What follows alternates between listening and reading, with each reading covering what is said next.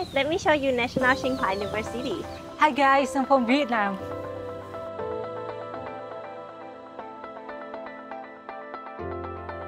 I'm studying at the College of Semiconductor Research at National Tsing Hua University. Why did you choose Taiwan? Taiwan lead the world in semiconductor research, and studying here places me at the heart of this industry.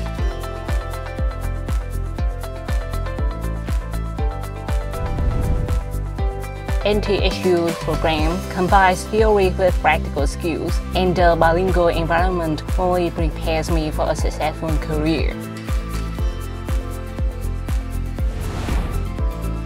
My favorite spot on campus is the library, a quiet place perfect for focused study with excellent resources.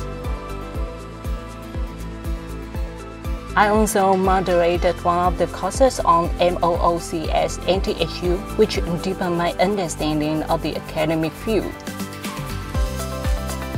What are your plans after graduation? After graduation, I plan to stay in Taiwan to build my career in the semiconductor industry. Taiwan sector in supportive environment make it an ideal place for me to grow professionally. Welcome study in Taiwan. 欢迎来台湾读书。 Chào mừng bạn tới Đài Loan.